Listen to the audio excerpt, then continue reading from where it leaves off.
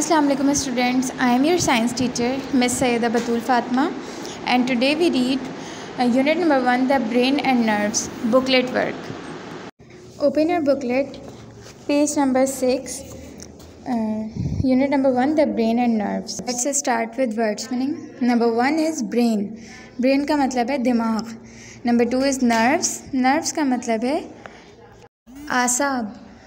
Number three skull skull का मतलब है खोपड़ी। नंबर फोर सिस्टम सिस्टम मतलब निज़ाम। हार्ट बीट दिल की धड़कन। मेमोरी याददाश्त। वाइब्रेशंस थरथराहट। सेंसेशन हसासियत। ट्रांसपेरेंट शफाफ। ट्रांसमिट मुंतकिल। Now come to question answers name the different nerves in the body आपकी बॉडी में जो अलग अलग नर्व्स होती हैं, उनके नाम बताने हैं। तो दो तरह की नर्व्स होती हैं sensory nerves and motor nerves question number two what is the function of sensory nerves sensory nerves का फ़ंक्शन क्या है? Sensory nerves carry signals from the sense organs to the brain और the spinal cord sensory nerves carry करती हैं signal sense organ से हमारे brain तक और स्पाइनल कॉर्ड तक। जैसे हमारी आइज़ हैं, जब उन्हें कोई चीज़ नज़र आती है तो हमारे ब्रेन तक सिग्नल जाता है ताकि जिससे हमें पता चलता है कि वो चीज़ किस कलर की है, किस शेप की है। अगर हम कोई चीज़ चख रहे हैं तो हमारे पहले ब्रेन तक सिग्नल जाएगा जिससे हमें पता चलेगा उसका टेस्ट कैसा है।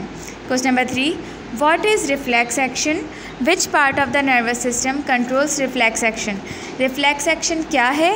और हमारे नर्वस सिस्टम का कौन सा पार्ट रिफ्लैक्स एक्शन को कंट्रोल करता है?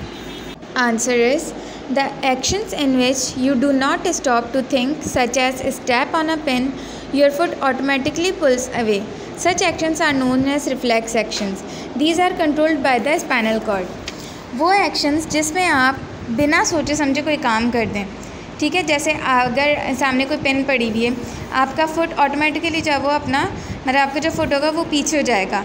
ठीक है तो इन इस तरह के कामों को रिफ्लेक्स एक्शन कहते हैं। जैसे कि मैं एक आपको एग्ज़ाम्पल दूँ, अगर कोई चीज़ गर्म है, ठीक है, अगर कोई चीज़ चूल्हे पे रखी हुई है तो हमारे, हमें पता होता है कि ये चीज़ गर्म है, हमारा हाथ खुद ब खुद उसकी तरफ़ नहीं जाता। तो ये हमारा क्या हो जाएगा रिफ्लेक्स एक्शन हो जाएगा। और ये सारे रिफ्लेक्स एक्शन कौन कंट्रोल करता है, हमारी spinal cord question number four name which what is brain located and what things protect it brain जो है वो कहाँ पर वाक़ है और उसको क्या चीज़ प्रोटेक्ट करती है? The brain is present inside the head which is protected by the skull brain जो है हमारा वो हमारे हेड के अंदर है, सर के अंदर है और वो प्रोटेक्ट होता है स्कल के ज़रिए. स्कल बहुत ही ज़्यादा हार्ड होती है हार्ड बोन होती है, जिससे जो, जिस पे कोई भी आराम से चीज़ इफ़ेक्ट नहीं कर सकती. Number five name the parts of the brain brain के पार्ट्स के नेम्स बताने.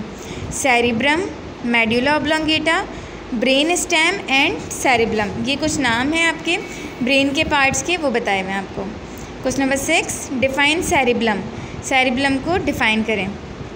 The cerebellum is located below the cerebrum and above the medulla its function is to control the balance of the muscles and joints cerebrum की location बताई हुई इन्होंने पहले आपको कि ये कहाँ पर होती है? ब्लो द सेरिब्रम सेरिब्रम से नीचे and above the medulla medulla के ऊपर, यानी ये बीच का पार्ट होता है। और इसका फ़ंक्शन क्या होता है? कंट्रोल करना मसल के बैलेंस को और जॉइंट्स की मूवमेंट को। सेरिब्रम का क्या फ़ंक्शन होता है? बैलेंस एंड मूवमेंट को कंट्रोल करना। Fill the blanks the outer ear direct sounds to the dash outer ear जो है वो डायरेक्ट साउंड यानी साउंड को डायरेक्ट लेके जाता है कहाँ पर? एयर ड्रम में। Number two smells are dash in the air smells are chemicals in the air the taste buds on your tongue are sensitive to chemicals in food taste bud होते हैं आपकी ज़बान पे, वो सेंसिटिव होते हैं food के केमिकल के। मतलब फ़ूड के अंदर जो केमिकल होता है, उससे वो पता चलता है, उसको उसको एहसास करते हैं।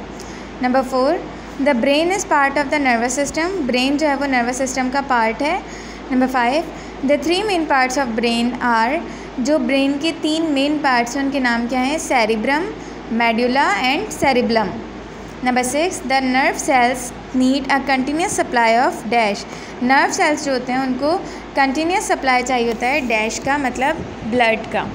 Hope you all are understand thank you so much